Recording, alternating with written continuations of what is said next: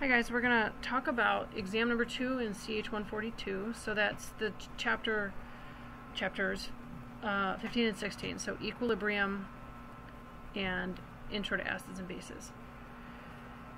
All right, so the first question is asking us to uh, figure out what will be a basic solution. So our choices are HNO3, which of course is nitric acid, so that's going to be acidic.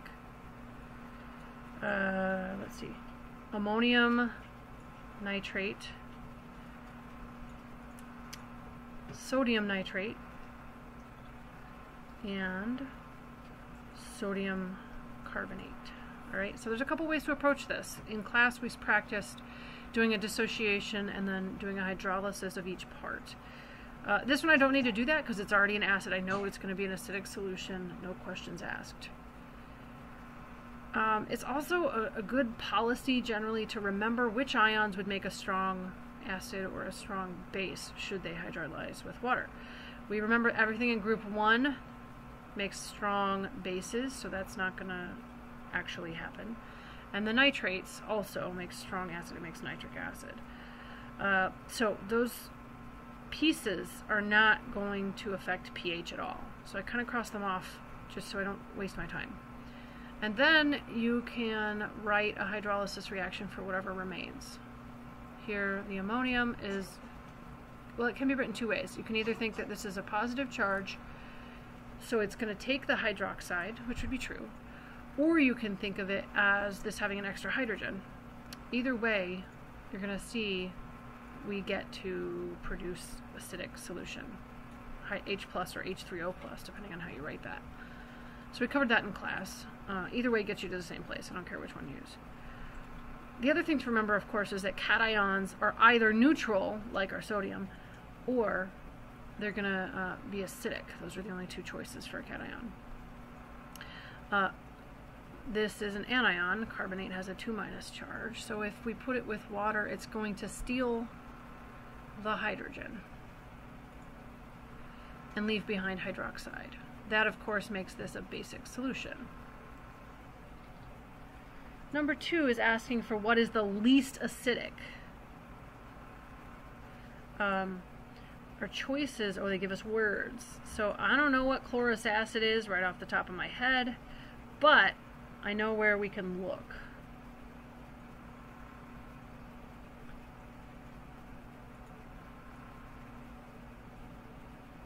I'm just copying these questions down. Um, malonic is the last one. So when I'm given acids that I don't know off the top of the head of my head, I I'm going to use the appendix in the book, Appendix D here. So let's see, we had a lactic acid listed there. Let's see if we can find that.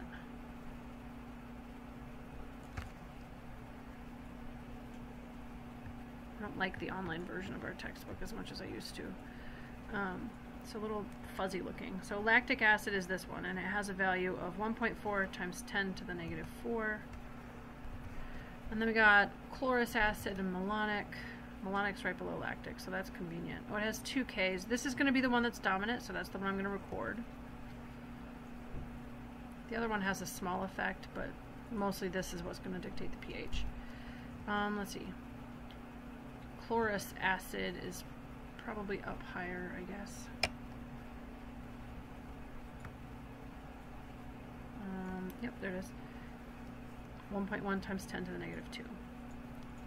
Now the last one isn't an acid, it doesn't have the word acid in it, so I'm not going to find it in the first page of Appendix D. But I recognize that lactic acid is the conjugate of lactate.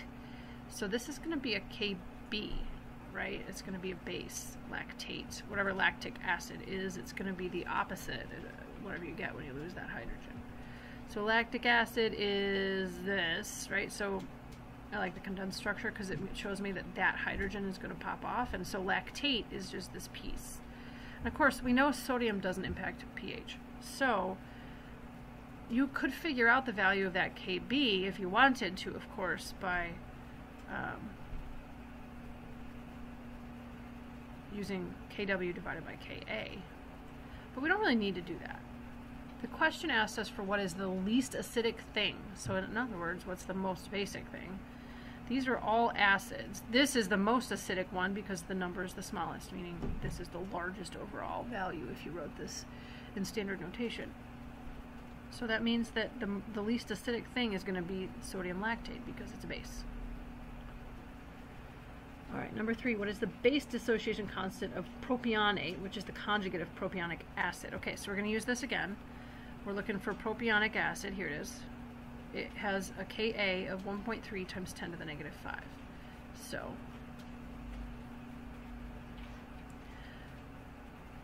it's asking for the conjugate. So again, I'm going to use Kw divided by Ka. All right, so in this case, we're assuming it's room temperature as usual. Nothing in the question makes me think otherwise. Okay, so so from the calculator says it's about 7.7, I rounded there just for convenience, times 10 to the negative 10. So I look at the choices and let's see here. So it looks like there isn't a choice for times 10 to the negative 10. I'm guessing I changed the acid and forgot to change the answers. So that's my mistake. I think most of you are probably going to pick C because it has the right digits and the wrong exponent. But I'm not going to actually count this one against you. I'm going to exclude that from our calculation unless everybody got it all right and I'll give you a free extra credit point. We'll see how that question goes when I grade. Alright, so number four is uh, I want to make a solution um, I have 200 milliliters, which is our volume, of course. And I want to make 0.5 molar. So big M, I automatically translate to be moles per liter. Uh, so if I, I knew how many liters this is, then I could cancel the liters there. So I can convert. Again, just dimensional analysis here. So this is review. So in order to, to make this solution, I, I need to figure out how many moles are involved. So we go 0.5 times 200 divided by 1,000. And we get 0.1 moles. Alright, and then it wants us to figure out a mass. Okay, well, so acetic acid is CH3COOH, so our molar mass is going to be two carbons plus four hydrogens altogether. Three here, one there. And two oxygens. Oops. I did that math too quickly. Alright, um, so our molar mass is going to be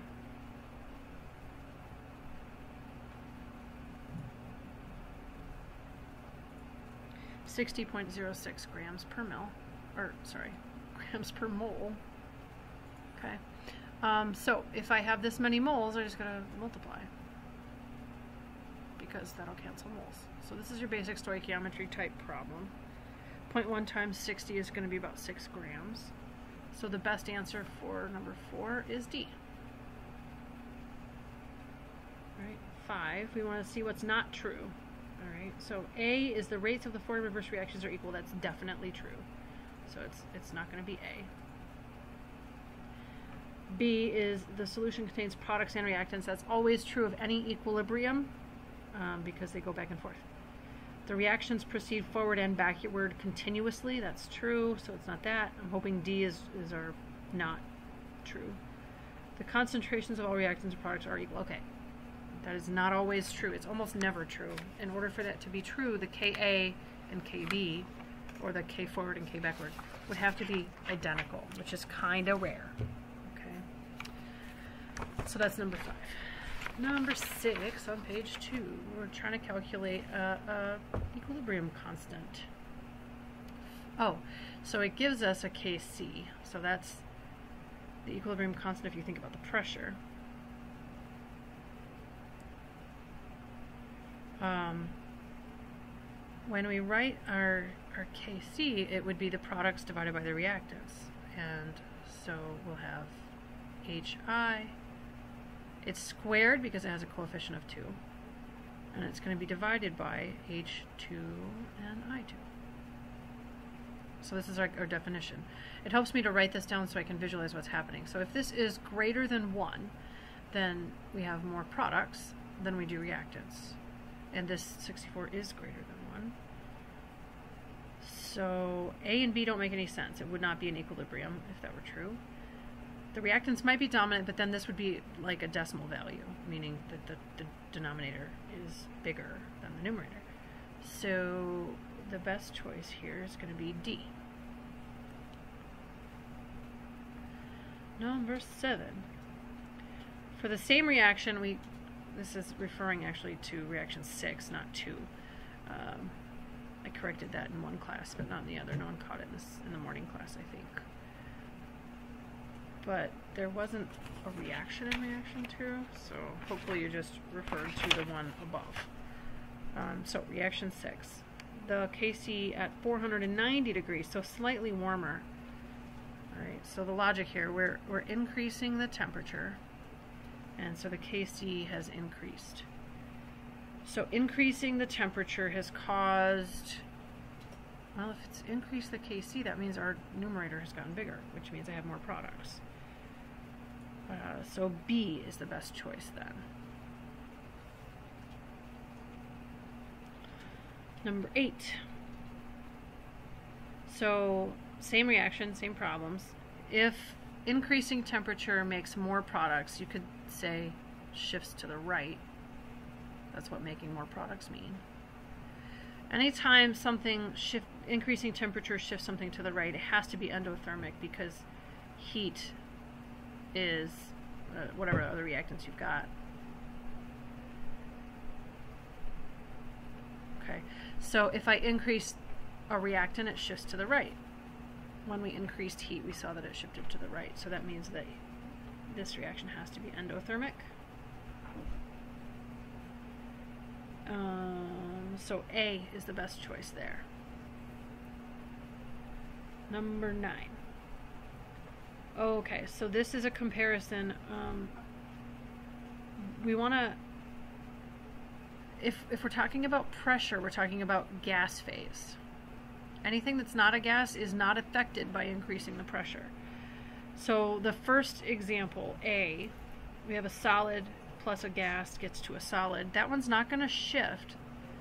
So A is not going to shift when you change the pressure because it's it's solids, right? The gas pressure would increase, but that's not going to change anything because there's no gas on the other side. Um, so then let's see the next reaction has all gases, and so what we can do is count particles. We have two on the on the left and three on the right. For C, everything's a gas. Again, we have two and two on that one. I'm just counting the coefficients, adding them up. Uh, in D, we have two and two again. So I'm going to guess it's not C or D because they won't change with pressure since there's no driving force. They have an equal number of particles on both sides. So that means B is the only, uh, is the optimal answer. Okay, so that was number nine. So now we're going to move on to number 10. Okay, so they're telling us the reaction is endothermic. Endo means energy goes into it, so you don't have to rewrite this, of course, it's already there in your test, but I'm going to write it down so you can see what I'm thinking. Okay, so there's our reaction. Endothermic means heat goes here. All right, so the fact that it's endothermic means I put heat on the reaction side, reactant side. Uh, all right, so we want to make as much SO2 as we can. So uh, I want to shift the reaction to the right. So I want to make more products. So if I increase the heat, or I increase this, or I decrease these, all of those will shift that reaction to make more SO2. Um, so, let's see. We want to increase temperature. So right away, I am going to eliminate A and B because this is lower the temperature. Lowering the temperature would shift it to the left because heat is a reactant. And then I just gotta have to decide whether it's low pressure or high pressure. So we have two particles on the left and three on the right. Uh, we want to favor the one where higher particles are formed, so that would mean lower pressure. Lower pressure gives things more room, so they don't collide as often, which means I don't go backwards as often. So we're looking for high temperature and low pressure, which is C. Number 11, a catalyst. Okay, so a catalyst changes your, you know, instead of having a really high uh, delta E, this would look more, more like that, I guess. That's terrible. Hang on. Okay, so this is, is what the uncatalyzed reaction would look like. And if we add a catalyst, it's not going to change the reactant concentrations or energies, but it does decrease your activation energy. So you get a lower hill. So that's what I remember about catalysts. Um, so it says the effect a catalyst has on an equilibrium is to increase the rate of the forward reaction. Only that can't be true because you're, you're lowering the hill in the forward and the reverse direction, so it's not A. It does not shift the equilibrium. Catalysts affect both sides of the equilibriums equally. Um, it does not increase the equilibrium constant because if something increases the equilibrium constant, that means it's shifting to the right. Um, but it does lower EA, so I guess we're going to pick D. Change the cursor back to black again. Okay, so 12 is page 3. A substance capable of acting as both an acid and a base. So this is a vocab question. 12. Saturated means, uh, that's way back in the solutions chapter. It means I've dissolved as much solute as I can. Miscible means two things mix. Miscible, mixable, they sound similar. Conjugates are um, opposites. Acids and bases have conjugates. You can't have one thing be its own conjugate. But amphoteric, ampho, amphi means like amphibian, 2, so D. Okay, 13 is in a neutral solution. I know that hydrogen and hydro hydroxide are going to be equal, so let's see. Oh, it's saying hydronium instead of hydrogen ion, but that's the same thing. So I'm going to pick B. They have to be equal to be neutral. If it was more acidic, it would be, you know, more hydronium. If it was more basic, it would be hydroxide. We want to know which solution below has the highest concentration of hydrogen ion. So in other words, which one is the most acidic? I'm looking for most acidic. So I'm looking for the lowest pH. That's what it means to have a high hydrogen constant. Oops, I forgot pH. High hydrogen ion concentration means low pH. So B is the best choice for that one. Number 15, fluoride ion, so F minus, um, is a weak base. So that means, oh, all right, so a weak base is going to do this with its conjugate. It's going to be at equilibrium. So they're both going to be present in the solution. So let's see what it, the choices are. Aqueous solutions of fluoride ion contain equal concentrations of hydrogen and hydroxide. That cannot be true because then it would be a neutral solution, and it just said it was a weak base. B, it cannot be neutralized by a weak acid. No, you can totally neutralize bases with acids. Doesn't matter whether they're weak or strong. Um, fluoride dissociates completely in aqueous solutions. No, that would only be true if it was a strong base. Strong bases dissociate completely. Um, so not C. D, fluoride ion will exist in solution with its conjugate. Oh, well, that's what we just wrote, so I'm going to guess that's probably right. But let's check E anyway. He says fluoride produces a gas when neutral. Well, nah. The only thing you ever get when you neutralize a base is a salt and water. Never a gas. You only get gases when you react um, acids with metals. Well, not only, but that's typically where you see it. Number 16, the pH of an aqueous solution. Oh, alright, so our pH equation is this. Alright, and so it gives us an H plus concentration, so all I gotta do is know how to use my calculator. Okay, uh, so, alright, so the calculator says 2.85. So, pretty acidic. And that would be B. Number 17.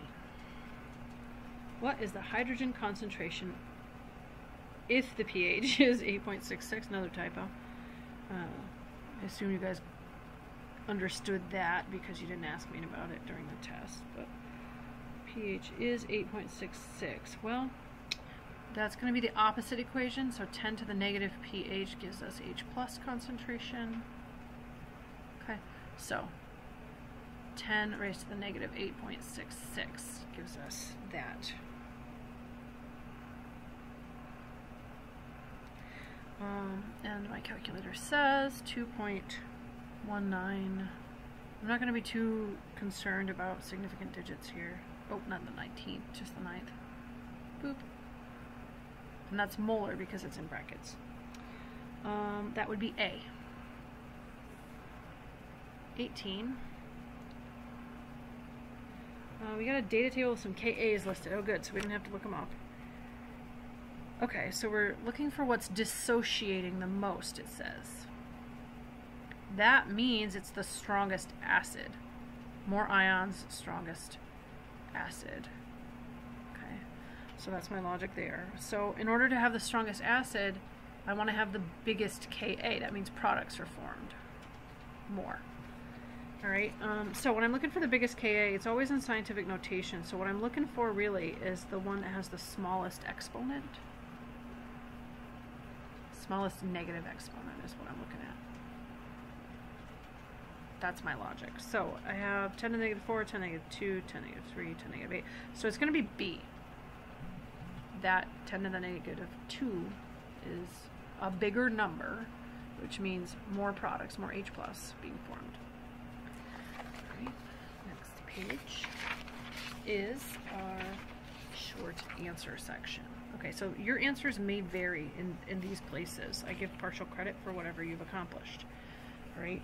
Um, so the first one is about the Haber-Bosch process. We studied this. This is how ammonia is made, and that's a large proportion of our energy usage. You start with nitrogen gas. Nitrogen is a diatomic element, so I always have to have N2, not just N. And we're going to react that with hydrogen, also a diatomic it's in equilibrium. If you put a straight across arrow, you're probably going to lose about a quarter of a point for that. Um, because it's not, you know, it's in equilibrium. And we're producing ammonia, which is NH3. Now, of course, I got to balance this. So, let's see, I got two nitrogen. I have two hydrogen. On the other side, I have ammonia. Oops. So right now I've only got one nitrogen, so I have to put a 2 in front of it because I needed 2 from the left. And over here I've got 2 hydrogen and I've got 6. So we're going to have to put a 3 there. Okay, so that fixes it. That's the balanced reaction for the Haber-Bosch process. It's just nitrogen plus hydrogen gets us ammonia. Oops, I was trying to change the color. Here we go. Okay, so that's letter A. This is going to be worth um, two points. And you can lose it for not balancing correctly, or for not having subscripts, or not having states of matter. Oops. Speaking of which, uh, having the wrong kind of arrow. So there's a lot of little kind of nitpicky things that can happen on your reactions. Pay attention to those things. They matter.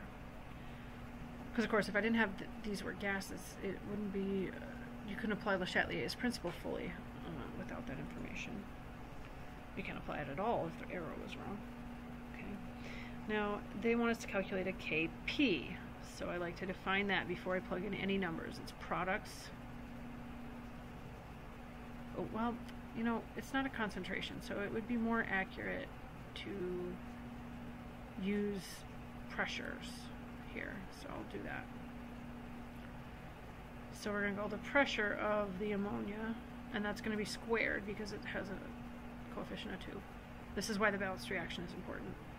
And on the bottom we'll have pressure of hydrogen cubed and pressure of nitrogen. It's not raised to any power. Okay, and so now they give us concentrations. So 1.3 atmospheres, not concentrations, pressures. That's going to be squared.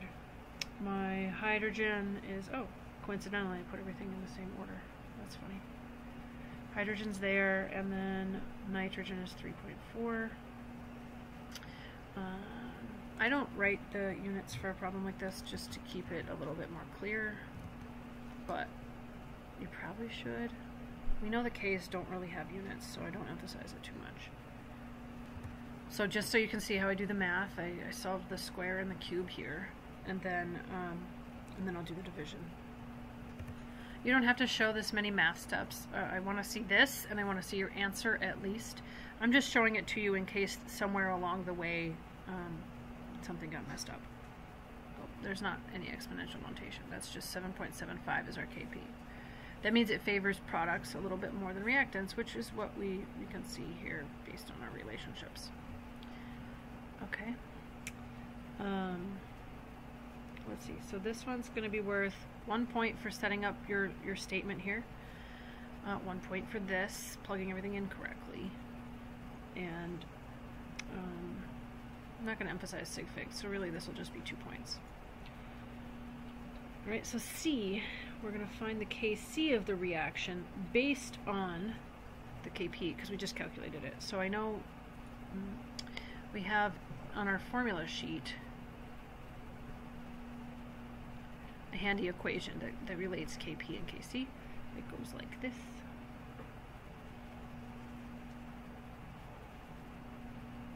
Okay, so we know Kp, it's 7.75. I'm trying to find Kc. R is going to be our friend, the ideal gas constant. In this case, I'm dealing with atmospheres, so we're going to use this version. If I were dealing with energies, we would use the other one. Um, and it says at 500K.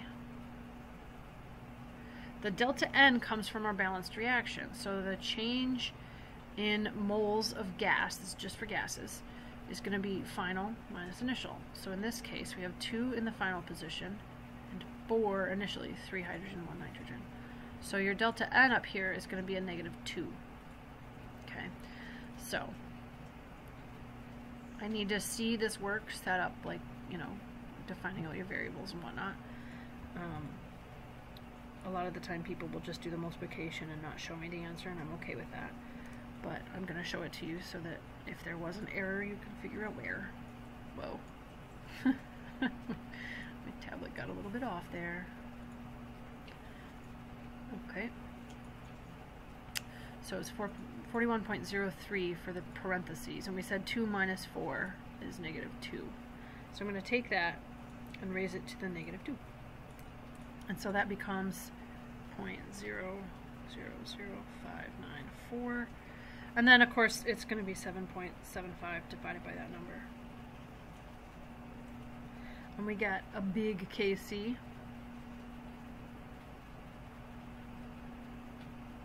That's what the calculator says. There's some decimals after it. I'm going to ignore them.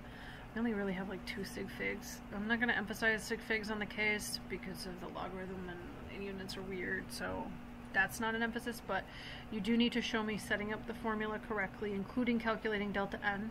That's one point, and then the formula is one point, and then your math. So this one's going to end up being 3. Alright, so 20. Okay, so we're talking about pH of beverages and citric acid. Right away, I am going to look at Appendix D and find out what that is.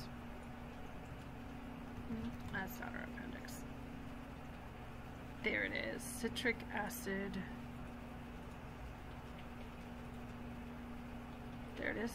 It has three Kas, but here's the formula, H3C6H5O7.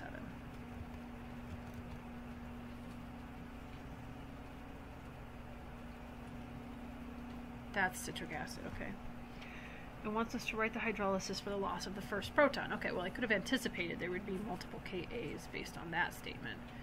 Um, this does not have a charge because it is the fully protonated, it's the acidic uh, species.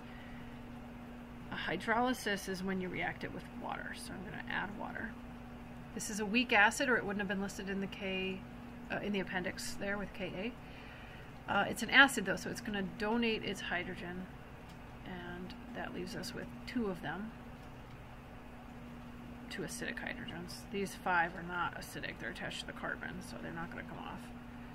And if it donates the hydrogen, that's going to make hydronium ion, which makes sense because we've added hydrogen, which is positively charged. This is going to be negative now because it lost a hydrogen.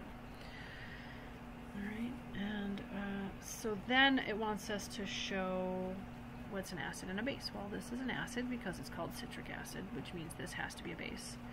If we were going in the reverse direction, this is the one that's going to get rid of its its proton, its extra proton. We know that this conjugate can be a, an acid. It could react with another water, but that's not what we're reacting with here. So if we're going in the reverse direction, then this acid donates the proton and we get this is going to be our base. So then our conjugates are going to be these two. These two pairs. Okay, so the reaction is going to be two points, and then identifying the correct acid-base situation here is going to be one point, so that's three. Uh, letter B, we want to write the equilibrium expression, so that's going to be a Ka or a Keq. It's going to be products with charges. Don't neglect your charges.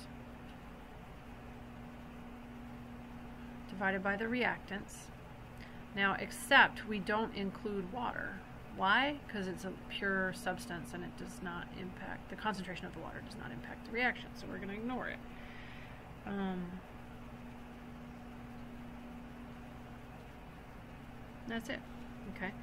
And then in C, it says we have a concentration of 4.6% M slash V. This means mass per volume. So usually grams per milliliter or kilograms per liter, one of those two. Usually in the lab we go with grams and milliliters. We got to go to molarity from there. Oh, all right. So if it says 4.6%, I can automatically, you can either assume a volume and figure out how many grams of citric were there, or you can remember that 4.6%, the percentage part, is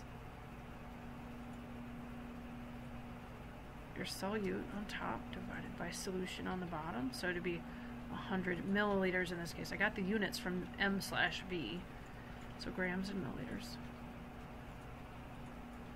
Okay. Um, so all I gotta do is figure out the molar mass of citric, and then I can figure out how many moles there are. So what do we got? Eight hydrogens altogether, uh, six carbons, and seven uh, oxygen. So that's gonna be 192 0.14 grams per mole. I put moles on top because that's what I'm trying to calculate.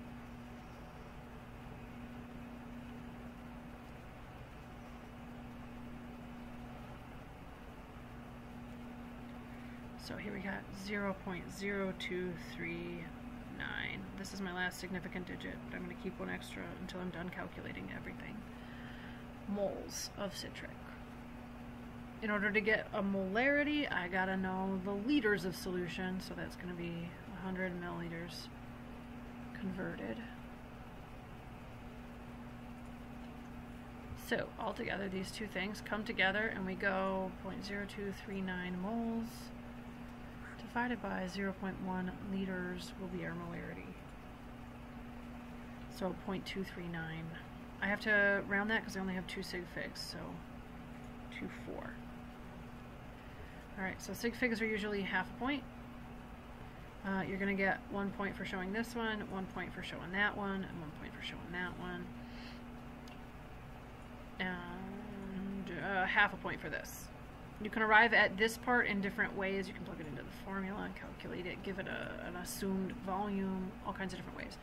So overall, this, this entire problem is going to be worth four points. Oh, this one up here will be worth one. Okay, so now D. So this is still 20. It says calculate the hydronium ion concentration at equilibrium. And it suggests using the simplifying assumption. So, first off, I want to just copy our equation. Okay, so here's the same equation. Uh, the 3 is not relevant. That was from the prior slide that I copied. Okay, so I need to calculate um, H plus concentration. So really the hydronium over here is what I'm trying to calculate. Um, initially, we have a molarity from the last problem. It was 0.24 of our um, citric acid. Concentration of water doesn't matter. I don't know how much this is. Initially it's going to be zero, of course, but once it comes to equilibrium, we're going to have to shift forward because we can't have an equilibrium without products. So we're going to subtract some of the reactant and add an equal amount of product because we don't have any coefficients. So at equilibrium, we end up with these statements. So our Ka is still good. It was products over reactants, right? So in this case, that's going to simplify to x squared divided by 0.24 minus x. And the problem says not to do the quadratic, so I'm just going to assume this is insignificant on the bottom, and we're going to ignore it. And then I look up the Ka value. Now, this is the loss of the first proton, so of course we're going to use Ka1, 7.4 times 10 to the negative 4. Don't get caught in the trap of making this more complicated than it is. We are at the first proton, so we're going to use the first Ka. We were losing the second proton, we'd use the second Ka. Alright, so this is going to simplify. I'm going to multiply by 0.24 first. So we get x squared equals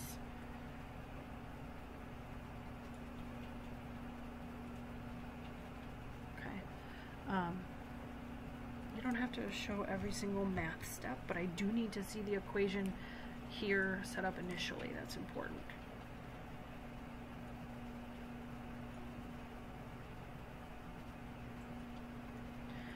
So we get x squared is 0 0.00017776. Hey, that's the same year we signed our Constitution, I think. That's funny. I know, my brain's a weird place.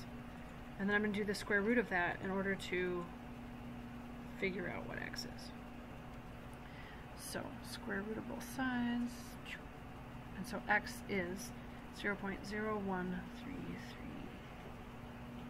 266, but I'm, I think I'm good there because I've only got two significant figures anyways. That's going to be a molarity because x is uh, based on our starting unit.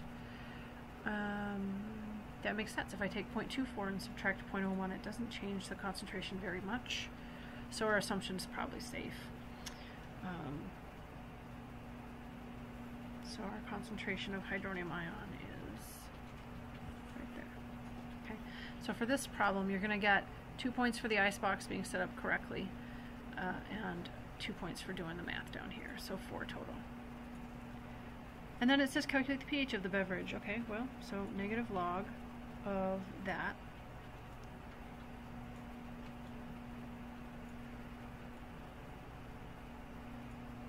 My cursor's kind of lagging a little bit. I don't know why. It's kind of weird.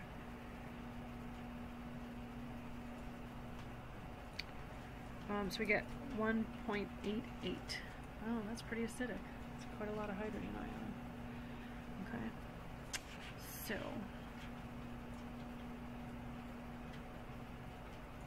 That's it. Alright, so as, oh, no, that's not it. We got something on the back. Oh, oops. Uh, part three is, is hydrolysis problems. So we're given Na2CO3. Hey, that's kind of similar to the one we had in the beginning.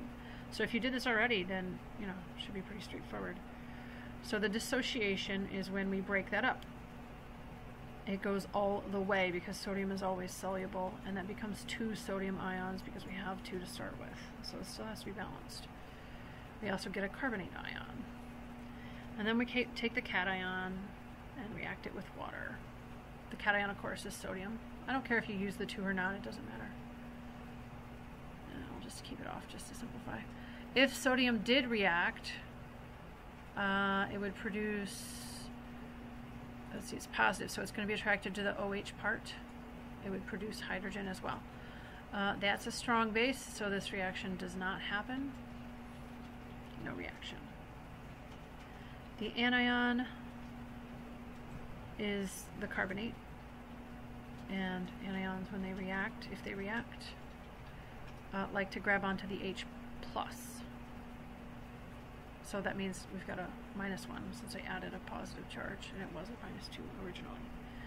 Um, and so if I took a hydrogen, I'm going to leave behind a hydroxide. This is weak. Uh, you can look on the table that's included in your test packet.